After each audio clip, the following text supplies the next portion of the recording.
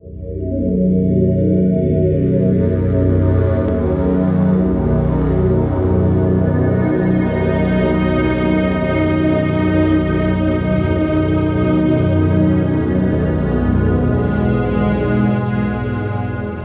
pressi del cimitero monumentale di Migiano si incontra la deliziosa cripta di Santa Marina, importante monumento salentino afferente alla cultura e alla tradizione religiosa italo-greca.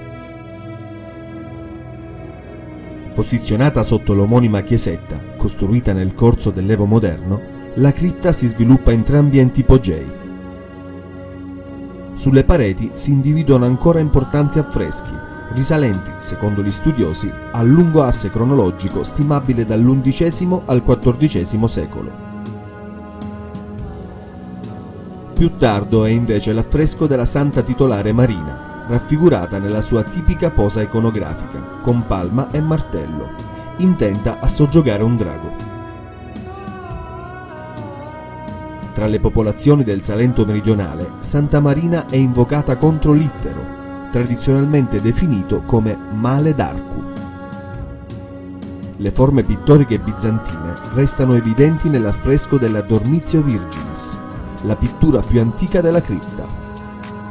Nella scena è raffigurata la dormizione di Maria, distesa nel folto gruppo degli apostoli che ne celebrano le esequie. Nella parte superiore si nota la figura di Cristo che accoglie tra le braccia l'anima della Vergine, in gergo iconografico definita eidolon.